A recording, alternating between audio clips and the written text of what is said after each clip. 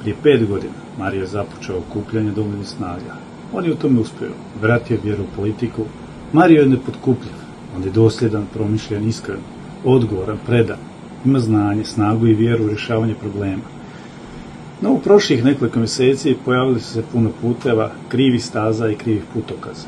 Zato budimo odgovorni, zaustavimo protustatularno djelovanje u stranci, vratimo stranku na početne postavke i ciljeve. Dajem punu podršku timu Marija Radića i Igora Petrnela.